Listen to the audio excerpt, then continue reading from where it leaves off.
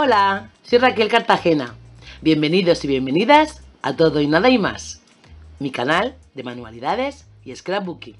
Espero que el proyecto de hoy os guste.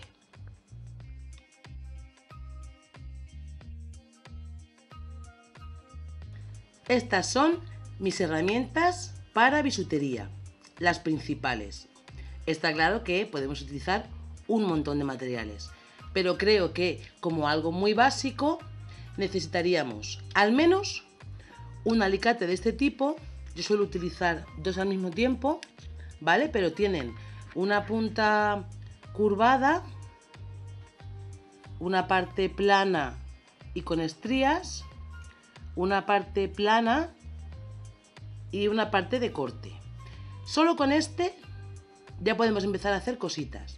Pero lo recomendable sería tener uno de estos, unos de punta redonda y un cortalambres. Yo además tengo un segundo alicate de este tipo para facilitarme algunas de las tareas. Vale, esto en cuanto a herramientas más importantes. Y para hacer nuestro primer par de pendientes, vamos a utilizar bastoncillos, que son unos palitos bastante finos, que tienen una parte plana o redondeada, que es donde caen las bolas. Fornituras para pendientes, estas son las que me gusta utilizar, porque no se pierden de la oreja. Tapacuentas o casquillas, creo que la llaman algunas personas. Ahora veréis cómo se utiliza cada cosa y algunas cuentas. Estas son, estas son de, de vidrio y algunos colgantes. Os dejaré puestos todos los nombres en inglés y en español que yo conozco para ayudaros a buscar. Yo la mayoría de las cosas las he comprado en, en eBay, ahora compramos más en AliExpress, pero me ha facilitado mucho buscarlas en inglés porque Em, ellos tienen una palabra muy específica para cada cosa, o al menos yo no conozco el término en castellano, ¿vale? Entonces siempre he buscado en inglés las cosas, ¿vale? Pendants o beads, eh, bead caps. Entonces, depende de lo que vayamos a utilizar, nos facilita mucho. Vale, pues nada, vamos a hacer estos pendientes, lo haré despacito y explicando cositas y espero que os animéis. Y ya me contáis en comentarios, pues si os apetece que siga desarrollando este tema de la bisutería y también os dejaré al final del vídeo unas cuantas imágenes, por si no habéis visto los vídeos que tengo de bistería en el canal, y algunos trabajos que he realizado desde hace un montón de años que hago pues pendientes, pulseras y esas cositas. Los bastoncillos suelen estar a la venta en un montón de medidas, desde unos 2 centímetros hasta 7 o incluso más. Suelen ser de un grosor pues de entre 0,7 y 1 milímetro, ¿vale? Más finitos, más gruesos. Y los hay que llevan una argollita aquí al final, plano, eh, una bolita o decoración. Ya os iré enseñando más cosas, si os apetece.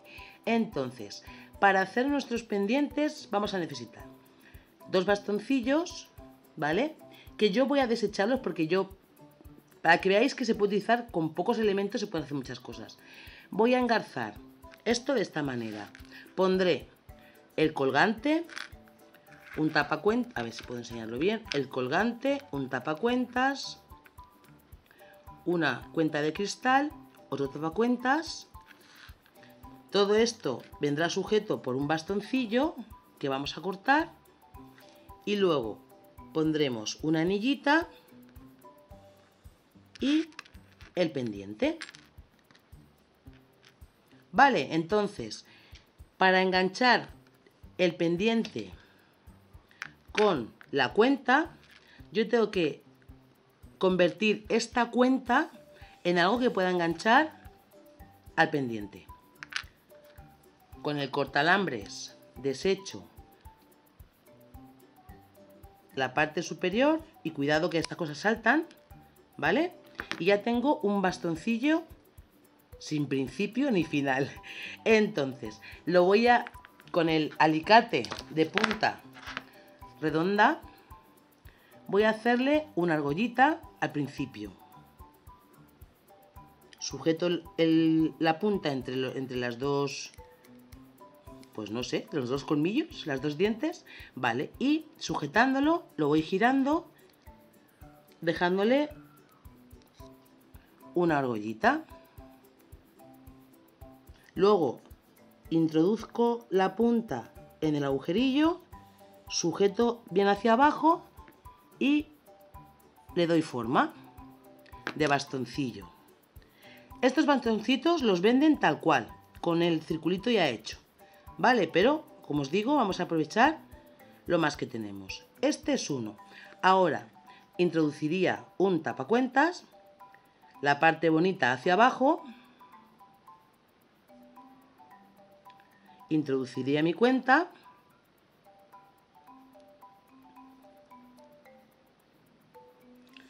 cerraría con otro tapacuentas y ahora tendría que hacer esta misma forma. Lo que haría sería cortar con el cortalambres más o menos la misma cantidad que he utilizado aquí. Así. Creo que le voy a dejar unos 1,7 más o menos por ahí. Si veo que me queda muy, muy grande, pues lo haré un poquito más pequeño. De hecho, sí, me va a quedar muy grande. Uno y medio y vamos probando. A ver, le he dejado un centímetro, sí, un centímetro y medio más o menos. Y otra vez reproduzco, sujeto entre las dos puntas, más o menos en el mismo sitio que antes, para que nos quede el mismo tamaño. Lo arqueamos, sujetamos el tapacuentas en su sitio ¿Veis? Y ya lo tengo para cerrarla. Y le doy un poquito de forma. Y ya lo tengo. Vale, tenemos ya nuestra cuenta. Entonces, ahora para sujetar esto a nuestra pluma, nuestro colgante, abriríamos esta anilla y siempre que abrimos una anilla, nunca es así. Siempre es así, hacia adelante o hacia atrás, no hacia el lado, porque si no después no recupera la forma y se nos caería el pendiente. Entonces, como veis, sujeto y lo abro hacia adelante. Aquí os podéis ayudar, si queréis, con un segundo alicate, aunque se podía hacer con los dedos. Con uno sujetamos, que es con el de la mano izquierda, ¿vale? Y con el de la derecha estoy abriendo hacia adelante.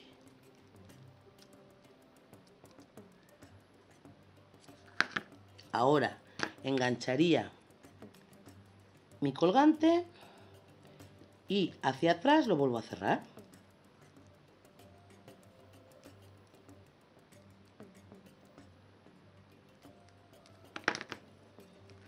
Ya tenemos la primera parte del pendiente.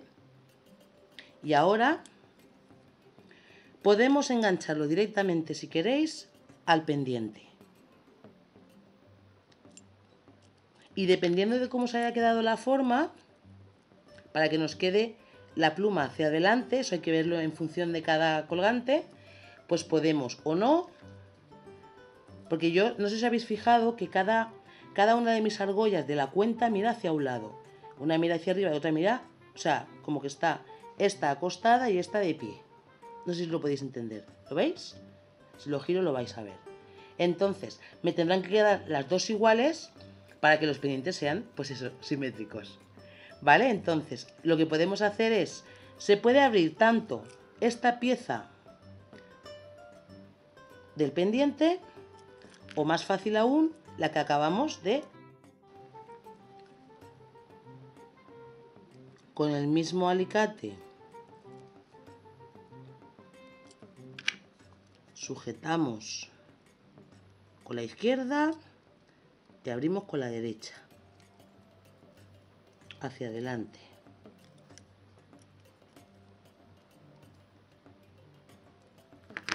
E introducimos por el agujerillo del pendiente.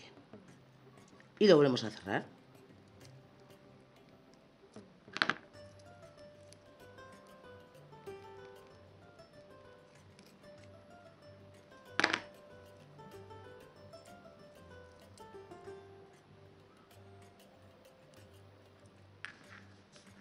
Ahora haríamos el segundo pendiente.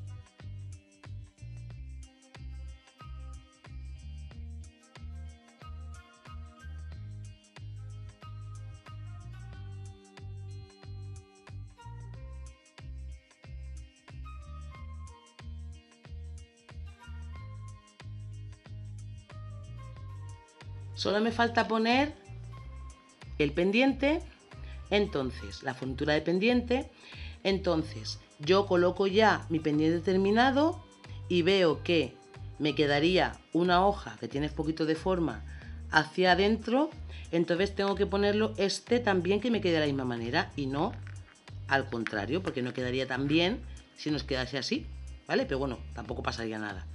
Es más que nada para hacerlo lo más bonito posible. Entonces lo coloco y veo cómo me tiene que ir mi fornitura. Vale, pues tendría que ir así. Entonces yo tengo que colocarla así y no al contrario.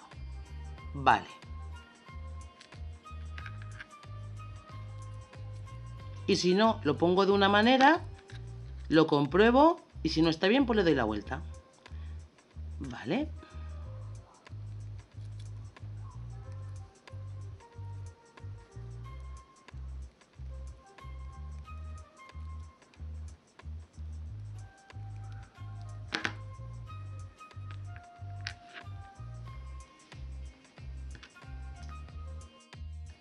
Bueno chicos y chicas, hasta aquí el mini tutorial de bisutería número uno, espero, con unos pendientes muy graciosos, muy vistosos, doraditos y brillantes.